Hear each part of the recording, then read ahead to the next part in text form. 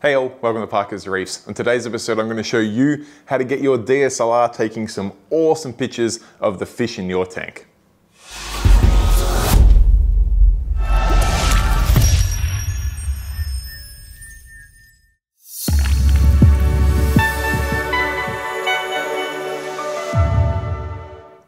All right, so thank you for joining me in another episode of Parker's Reefs. And this is one I've had a few questions about after I've released a few pictures of um, my fish and my corals and I guess my full tank shots where um, I've been using my DSLR for the last few years to, um, I guess, hone my skill on taking the best possible pictures of the fish in my tank. And um, whilst I've seen a few guides out there, including one that I did a few years ago, I haven't really seen one that just cuts to the chase and just gives you some baseline settings and tells you how to adjust from there to get your pictures at least 95% of the way there. So I plan on addressing that in this video. If you do want to see a more in-depth super technical video on how to tweak the settings perfectly to get exactly the results you're after, I'm more than happy to make it. But I'm taking a bit of a gamble here that uh, the majority of people that have a DSLR at home just want to know the basics to get them most of the way there and getting some good pictures. So I figured let's jump into it. All right, step one is picking the equipment. Now, hopefully you've got a DSLR handy. If not, this is probably not the video for you, although the pictures that we're gonna share at the end may inspire you to pick up a cheap DSLR and lens from here because um, once you move away from taking pictures on your phone with a filter and you move to a DSLR, regardless of how new, how expensive it is, you're gonna absolutely blow your mind in the quality of the results and that I can promise you. So I'm not gonna jump into which DSLR body you should use. The body you should use is the one you can afford or the one you already have. My only requirement is that it can shoot in a manual mode and that it can shoot raw images. The raw images is important because all of that stuff that we normally rely on a filter to do on our phone, we're gonna get our computer to tweak of the raw image data rather than on a JPEG, which is what a lot of images are normally taken as. When we do it as a RAW, we then process all of that extra information into a JPEG after the fact on our computer and it allows us to get what is somewhat usually an average picture turning into an incredible picture. So um, we need a RAW a camera that can shoot RAW images and ideally one that has a manual mode. All right, the next bit of equipment you're gonna need is obviously a lens. Now, lenses, let me forewarn you, can get incredibly expensive. If you thought you were over the hurdle with the uh, DSLR body, the lens is something that can go crazy. I kind of almost liken it to the, um, the camera body being the glass box. It's something that you think is always gonna be the most expensive part and it ends up being almost the cheapest. The lens ends up being everything else, all your fish, coral, livestock equipment. That's where the money can really add up. Now, for that purpose, I don't really have a strong recommendation on the lens you should use. Now, I know I'm gonna get asked the question, so the lens I do use mostly is the Canon 100mm macro. It's a great lens, but it is not the lens you have to use. In fact, I've got a RF35 and RF16, both much more affordable lenses that take an incredible shot. If you're not really into camera bodies, and that's probably the audience of this video, and you're not sure what lens to get, you wanna have a look in your arsenal for a lens that's not too big of a zoom, that you have to stand on the other side of the room to take a picture of, and one that has the lowest F number. If you have a look at a lens, it will have an F number on it. That is what's known as the aperture. One that can go as low as possible, which actually means as wide open as possible. Super confusing. We won't go into all the details here, but a low F number normally means a fast lens, normally. It's a pretty safe rule of thumb. So this one here has an f2.8. Whilst I do have some others that are f1.8, this is the lens I'm gonna use because I know it's super fast and it is stuck at f2.8. It doesn't zoom in and zoom out and change that aperture as I go. So I know I'm at 100 millimeter zoom and I know I'm at aperture f2.8. That's the lens I'm gonna use. All right, that's our equipment out of the way. Easy as that. The next thing you wanna do is prepare the tank for the images. What I do here is I close off the curtains. I generally tend to wear a dark shirt so I minimize reflections. I've turned a couple of lights off in the kitchen because I get reflections on the glass. And last but not least, I've cleaned the glass for the tank. Now, if you wanna do some additional steps that will save you some time later, you can turn the flow off if you want to. It's just gonna stop some of these floaties appearing in your image, which can sort of I wouldn't say they ruin your image, but they take a little bit more time to process out later. I'm lazy, so I have not even cleaned my glass and I'm definitely not gonna turn my flow off because I want my fish to act as they normally do. So I'm gonna leave everything on as it normally is. You may also note I have not adjusted my lighting in any way unless your tank is just purely lit by blue lights. If you've got any sort of white spectrum in there at all, that'll be fine. Don't worry about the old days where we change the lighting to suit the camera. We're gonna change the camera to suit the lighting. All right, we've got the equipment ready, we've got the room ready, we've got the fish tank ready. It is now time to take pictures. Now, this is when we fire on our camera. Take the lens cap off is always a good idea. Switch it over to a manual mode, which depending on your camera, that will vary. Mine is indicated by an M on the switch dial. And then for fish, what I'm gonna do, I'm gonna set a, a uh, speed of 1 160th of a second for the shutter speed. You will need to vary that between 1 100th and 1 160th of a second, depending on how bright the conditions are in your tank. Probably 125th is a good safe starting place. I'm gonna go to aperture and I'm gonna set that to f4 as touched on before, that's how big of an opening there is in the lens. The bigger that opening is, the more light that enters the camera, so you're gonna get a, a clearer picture. But what it does mean is your item that's in focus is gonna be razor sharp and everything else is gonna be blurry. The bigger we make that number, the smaller the hole in the camera gets and the more in focus things are. It doesn't make any sense, but it's just the way it is. F4 I find is to a very good setting to allow a lot of light into the camera, but still keep our entire fish in focus. So that's really the only takeaway you need to know there. And then the next step is ISO. I like to set that to auto. Even though I'm on a manual mode, ISO is basically the amount of digital enhancement you need to get your image bright. I like to set that to auto because it does a pretty good job in the camera of picking what ISO it should use. So um, I'm gonna set that to auto and let things be. Now, the next question I get asked a lot is what white balance or what filter do you put on the camera?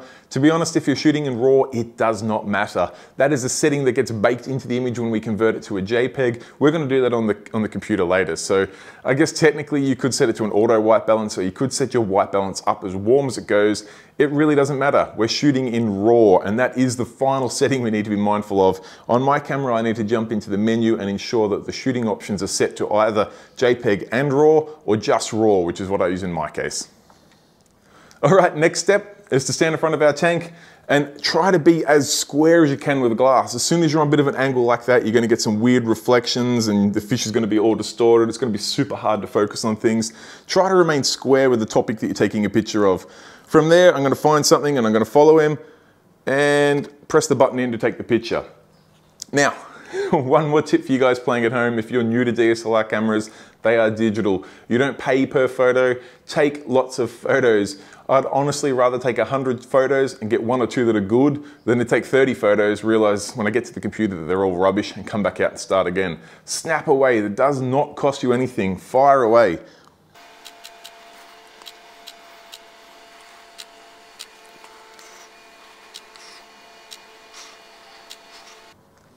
Now, while snapping away, what I do tend to have a look at is even though I've got the ISO set to auto, when I'm focusing in on an image, it'll actually show me on screen what that ISO is going to be.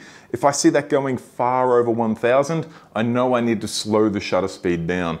If it's a long way under 1000, I know I can speed the shutter up a little bit and that's gonna get a crisper picture of the fish if it's swimming along. You're not gonna get that sort of motion blur shot.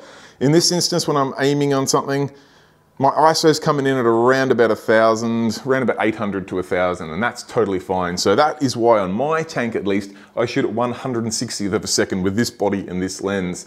Bear in mind when you change the lens, the settings may not translate, so you may need to change that shutter speed from there. But again, just have a look at your ISO. Personally, I find if it's going over a thousand, you're starting to get some average looking photos, and if it's under a thousand, you're totally fine.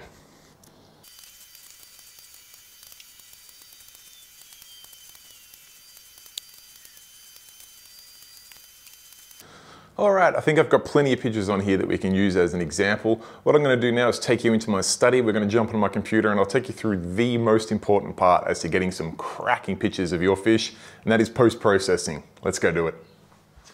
All right, now that we're at the computer, I'm gonna jump on the Mac side of my computer. I'm gonna rip out the memory card and I'm gonna import the photos we've just taken onto that computer open up Lightroom Classic, which is the software I use, and I'll show you why, because it's super, super quick to get some really nice images. There are alternatives out there, but to be honest, I only know Lightroom Classic, so that's the only program I'm gonna talk you through. Have a look around to see if there's something out there that will suit you, but essentially, we need something to process these raw images and convert them into JPEGs and put all the settings we want into those images as we go. So I'm gonna bring the camera in a bit closer, do a screen recording here so you can see exactly what I'm doing. We'll go through each picture step by step. All right, so here we are on my Mac and I've navigated down to where I've stored these pictures from my uh, digital camera. I've saved them onto the desktop, put them in this Taking Fish DSLR pictures. I've selected them all. Now we're going to import those into uh, straight into Lightroom Classic. Now, we're faced with these images here. Some of these are going to be absolutely rubbish. Some of them are going to have potential, and some of them are going to be the next, uh, I don't know, the next product picture for uh, something from Aquaforest or meet their uh, their calendar. But uh, first thing we're going to do is go to develop, and we'll just do a quick pass of these pictures. The only thing I'm really looking for here is to see if the fish picture is remotely possibly has any sort of potential and the best thing to look for here is to have a look at the eye to see if it's in focus that one's not too bad so we'll keep it this one here again Eyes mostly in focus, we'll keep it. This one, yeah, the eye's in focus. I'm not sure if I like the angle, but we'll keep it for now. This one is out of focus, so uh, sorry, Mr. Clownfish, you're going to get deleted. I don't want to deal with you. All right, the next one, eyes in focus, happy days. Eyes in focus, eyes not really in focus, plus I don't like the way the image is too close. Going to get rid of that one. He's a big fish, so the 100 millimeter macro is probably not going to work for him. Looks like that's mostly in focus. We'll work with that. Uh, I don't like that image. Eye's a bit blurry and I just don't like it. So I'll get rid of it. Ooh, that's a cracker. That'll come up real nice. We'll keep that. That one, maybe not as much, but we'll keep it. The eye is in focus, sort of. We'll keep it. Uh, yep, keep it. Keep it. Mm, yep, keep it. Nope, get rid of that. Nope, get rid of that. Definitely get rid of that. It has potential, but it is eye is out of focus. Sorry, Mr. Hogfish, don't make the cut today. That's looking better. He is mostly in focus there. Unfortunately, my fox face has kind of ruined the picture, but let's work with it. We'll see how we go with that one. His eye's in focus. His eye is not in focus.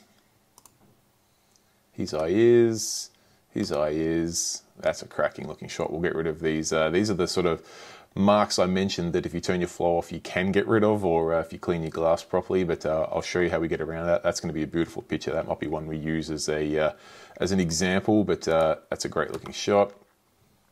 That's fine. That's fine. That's fine. That's fine. That's good. That's good. Don't like that one as much. This just comes down to personal preference, mind you. This shot's no good to me because I can't envision a way I'm going to be able to crop that down to get rid of these uh, smears on the glass here and also to get rid of this huge distracting uh, yellow body from the fox face. So, um, plus the fish looks like he's got a little mark on top there. It's just not a pleasing picture to me. So, um, you know, because there's pictures in my tank, I can afford to be pretty uh, cutthroat and delete the pictures I don't like because I can always go and take more. If I'm taking pictures of someone else's tank, I might put a bit more effort into trying to resurrect that photo. But uh, this one's looking awesome. That eye is perfectly in focus. We've got a couple of marks to clean up there, but that's going to come up a treat. That one, for my liking, is a little bit too close. I do like the way the cleaner wrasse is there, just on his back, um, picking away at him. Maybe we'll keep it for that point alone. And that one's good. Cool. So we are down to 26 photos to work with here, and um, I'm going to run you through my super quick processing method to get these all down into the uh, quality of images that I'd be happy to share. So we're going to start off here with our uh, mustard tang. First things first, I don't like the way he's framed in this picture. He obviously was trying to back out of the shot, so I'm just going to crop that down. I click on the crop, bring him up so he's remotely sort of centered somewhere in, uh, yeah, that sort of range is fine. And he's now cropped. Happy days. Next step, there's a couple of little marks here. In fact, one there, one up here. I'm going to go to the heal button. I'm going to heal over the top of that, and I'm going to heal over the top of that. I think that's all the marks I'm worried about, so I can close the heal button. Next thing, I'm going to need to add a bit of warmth to this image because uh, the tank was fairly blue when it was taken. I'm going to go to about 20,000 Kelvin. That looks pretty good to me. I just want to actually crop him down a little bit further because I don't quite think he's centered enough. I'm worried that he's getting a little bit small or a little bit large in the image, but um, we'll work with that. I might even rotate him a little bit there just because I feel like he should be tipped up a bit more. All right, that's better. Next thing, we've got this detail here. I can see the image is a little grainy, which basically comes down to our ISO. Just going to put a little bit of noise reduction in there until that smooths up a little bit. That looks pretty good to me. I might pop back up to dehaze. This is one of my favorite settings. Take a little bit of dehaze out. You'll see it just kind of gives maybe a little bit more contrast. It's not a bad looking image. And then realistically from there, we're pretty well done. If I really wanted to make the fish pop in this picture, I could go to the mask button here, which is something fairly new, click on select subject. the computer is going to use artificial intelligence to detect that this is the focus of the uh, image. It has unfortunately left his tail out of that, which is annoying, but we'll work with it anyway as an example. I'm going to click invert, which is going to make everything else what I'm adjusting now. To take a little bit of exposure out of everything else, just so the fish pops a bit more. And I might take a little bit of, uh, let's see, we'll take a little bit of sharpness out of the rest of the image and uh, maybe a little bit of clarity out just so that the fish pops a bit more. From there, I think that picture is pretty well done. We can move on to the next. All right, next up we've got my golden blenny here. Same sort of deal, I'm just gonna frame him in this picture a little bit better. Um, I like him to sort of sit mostly across this middle third here. I mean, depending on what you're wanting to do, corals I tend to be a little bit more uh, less uh, central, but fish I try to frame right in the middle of the picture. So he's framed roughly where I want him. I'm going to bump that Kelvin up to somewhere where it suits, probably around the 20,000 Kelvin mark. We're going to take a little bit of dehaze out. We might brighten this image up a little bit, a bit more exposure. We're going to put a little bit of noise reduction in just to smooth up some of that ISO. I'm going to heal this spot over here just because there's a little fleck there. Just make that a bit smaller because it's changing the nose of the fish in the background. There's a spot there, looks like a little spot there, a little spot there, and hey presto, your water is now crystal clear without turning the flow off. Turn heal off. What I will do though is I will do the uh, select subject and then invert it because I just want to make everything else a little less bright. So you can see we've got exactly all of the fish this time. I'm going to select invert, turn the exposure down a little bit just so everything else sort of backs away from this fish. And you can see the picture we've got up here now. It's looking pretty cool. Um, I don't think we need to do much more. I'll just turn the masking off. Dehaze is good. Saturation's good. Noise reduction's good. I think that picture is absolutely awesome. I could add a little bit of vignetting if I wanted to to further enhance him but um, I think with the uh, masking that picture is pretty good. So we'll move on to the next one on second thoughts, looking at this picture of my uh, orange shoulder, I just don't like the angle it's on. I can tell that I've sort of shot on a, uh, not a 45 degree angle, but I'm not square onto the fish. So we're going to drop that one. Easy as that. You've got to be cutthroat sometimes. This clownfish picture, I'm not sure how well it's going to come up, but hey, let's give it a try. We're going to crop him down a fair way. Uh, not too much because he's a small fish. Pop him in there. Okay, we've got a little bit of healing to do here. See spot there, spot there spot there. I do love the way that uh, he's so far from the background, so he's nicely in focus and everything else is really blurry, which just looks really cool. Really makes the fish pop in this picture, which gives it some potential. I think that's most of our little specks of uh, detritus floating in the water. I might just uh, rotate him a little bit. Can we center him up a bit more? Yeah, that's looking pretty good. All right, let's get some uh, color into this. Get him up to about the 20,000 looks good. Take a little bit of dehaze out, which just removes a bit of the milkiness from the picture. Um, we can do our mask trick where we're going to select the subject and then invert that, take a little bit of exposure out. Like I can go full black if you want to have an image that just shows the clownfish, but I do actually like the background in this picture. Just don't want it to be quite as prominent. So something like that looks pretty cool in my eyes. And I think from there, uh, it doesn't look too bad. I had a little bit of noise reduction. I think from there, that's a pretty cool looking picture. There is a tiny little speck here. I've just noticed I can uh, heal that one. and it's going to make that a lot smaller because I don't want it to affect the uh, the fin of the clownfish. But um, all in all, that's a uh, poster quality picture. All right, onto my Atlantic blue. Let's get some color in there because he's all sorts of weird there. The blue just overpowered in this uh, picture, so um, just going to fix that up. There's a couple of spots to heal up here. You see how quickly the healing is. This is why I don't bother turning the flow off because it just makes the fish act weird. And um, if your water's not that filthy, it kind of comes up pretty fine. There's one more spot I just noticed there though.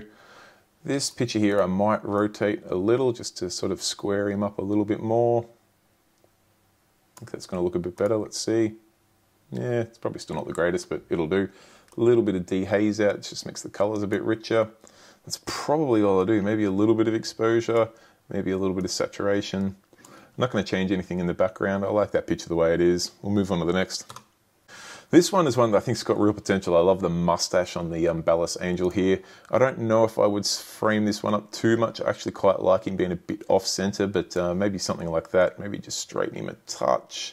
I think that looks pretty cool. By the time we add some uh, color in here, I'm going to go a little bit further than I normally do, a little bit more exposure. I notice some of the highlights and the whites are a bit blown out here, but um, I used to address that with these here, but I do find that will affect, doesn't affect the fish too much there, so I might give it a little go. The whites is going to affect everything a bit too much though, but we'll go there, give it a bit more exposure. I want to rotate him just a little bit more, just so his mustache is straight up and down. That looks good. Uh, I need a little bit of noise reduction. Now let's uh, select the subject. Thinking, thinking, thinking. We got him. Cool. Let's invert that for the background. Take a bit of exposure out of the background there. Not too much.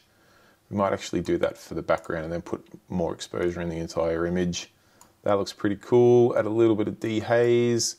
That's such a cool picture. I really like that. Um, maybe a little more exposure just to brighten him up a bit more. That's cool. I like that. That's a cool picture. I think we will leave that one alone now before I start uh, ruining it. If I wanted to add some uh, vignetting or something, I could. That's enough. All right, let's leave that one as is. Moving on to the next picture, I don't like that one as much, so I'm going to delete it. It's just going to make me feel like the other picture was better, so it's gone. This one of the clownfish, now this is interesting. He's got a lot of uh, focus right here, particularly on these gills, but I don't want to frame it too tightly because these clownfish are so small. I actually like them to remain small in the image. I might uh, just straighten him up a little bit, something like that. Uh, yeah, that's pretty cool. Sweet, let's uh, heal these big spots here because I don't like floaties in the water and the picture. It just makes everything look dirty and not nice.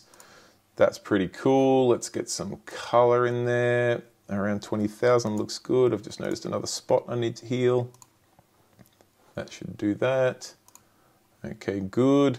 We will get a bit of this brightness of the background out of it just because um, it's taking away a little bit from the fish. Not too bad, but uh, we'll select the inverse of that, take a bit of exposure out of the background just so that uh, the clownfish is the real star of that image. And um, I think we look pretty good there.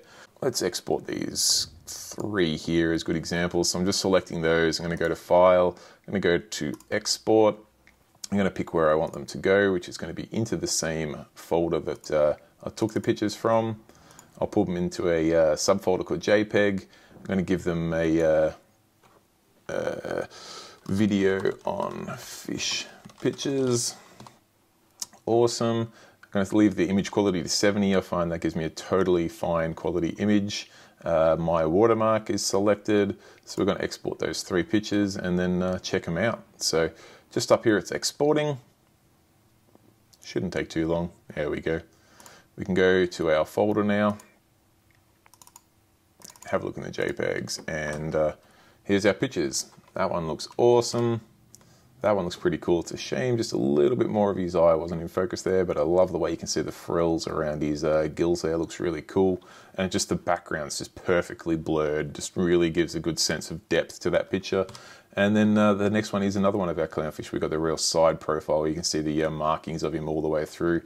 Same sort of deal with a small fish a long way from the background. We've got that really nice blurring. Got my watermark on there just so hopefully no one steals my image, or if they do, at least I get a bit of credit for it. But um, all in all, I think that's a pretty good overview of how to get some great pictures of your fish. All right, guys, there you have it. That is my bare bones guide to how to use your DSLR camera to get some absolutely beautiful pictures of fish in your aquarium. If you've got a camera sitting in the cupboard collecting dust, hopefully it's inspired you to get it out and snap away. Alternatively, if you're yet to make the jump from your smartphone to a DSLR, hopefully this has inspired you to take that leap. If the cost of a DSLR camera is what's been holding you back up to this point, please don't let that be the case. A secondhand, lower spec setup is going to get you pictures 95, if not 98% as good as what you saw on screen today. The higher end cameras just have a few features that will help you get more good quality shots out of your 100 photos that you take, as opposed to some of the cheaper ones with some of their fancy autofocus and extra megapixels. But realistically, a low end camera is still gonna be a hundred times better than the images you can take on your smartphone. So some of the, I know personally some of the best pictures I've taken of my aquarium were with a $300 secondhand Canon 7D setup. So please don't let the cost of a DSLR camera be what holds you back. Now lastly, once you have got your camera or you've picked up a new camera and you've taken a few photos, if you still have any questions or comments or you need some help getting the best out of your pictures, don't be afraid to ask for help down in the comment section below. I do personally reply to each and every comment there and I will endeavor to do everything I can to ensure you're getting the absolute most out of every picture you're taking. So feel free to hit me up in the comments down below. More than happy to help where I can. But other than that, guys, I will wrap the video up there. I hope you have enjoyed it. If you have any further questions, comments, feedback, if you'd like to see any other videos like this in the series, be it on the full tank shots or top-down coral shots, anything like that in the photography world, I'm more than happy to address it. Just let me know in the comments below. If you want to see a video made, I'll be more than happy to make it. Other than that, guys, till next time, stay safe, keep reefing. Cheers, bye.